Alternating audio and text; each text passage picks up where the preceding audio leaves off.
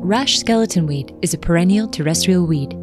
Native to Europe, Western Asia, and Northern Africa, it was introduced in northeastern North America in the 1870s, likely in contaminated seed or plant material. It was first recorded in Western North America in 1938. It's currently largely restricted to the west and east of North America, but is mostly problematic in the west. Rush skeleton weed grows best in semi arid conditions with cool, moist winters and warm summers. It capitalizes on disturbance and is often found along railroads, roadsides, riverbanks, fallow fields, abandoned lots, and overgrazed rangeland.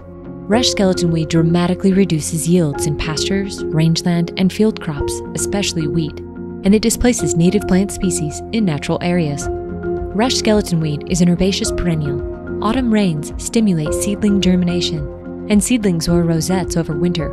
Rosettes grow a taproot with long, creeping lateral roots that give rise to vegetative buds, which can produce new rosettes. Over time, these rosettes form their own roots and eventually become independent plants. Rosette leaves are hairless and 2 to 5 inches long. Older rosette leaves have deep lobes that often appear to be pointing backwards towards the leaf base. Some leaves are tinged with purple or reddish brown, especially along margins and near leaf tips. Plants bulb and branch in spring, growing 1 to 4 feet tall.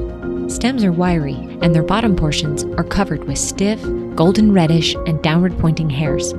Stem leaves are alternate, narrow, and grow smaller further up the stem. As flowering stems mature, stem leaves often wither back. The remaining bare stems give the plant an overall skeleton appearance. Flowering generally occurs in late summer when flower heads a half inch across are produced along stems and at the tips of stem branches. What appears to be one flower is actually a flower head, containing 9 to 12 yellow florets. Each floret can produce a seed without fertilization. Seeds are small, light brown, and topped by tufts of fine hairs that are readily carried by wind and water. Plants less than one year old are capable of producing seeds, and seeds can remain viable in the soil for several years, though the majority germinate within one. Above ground parts die back after setting seed, and plants resprout each spring from their roots. All parts of the plant exude a milky sap when damaged. There are several other plants in the sunflower family that resemble rush skeleton weed with their similar flowers or their lobed leaves. The weedy chicory has similar lobed leaves, wiry stems, and milky latex, but its florets are blue and it does not have bristles at the base of its main stem. Rosettes of the weedy dandelion have similar lobed leaves and milky latex but dandelion stems are unbranched, hollow, and leafless, and its flower heads are much larger.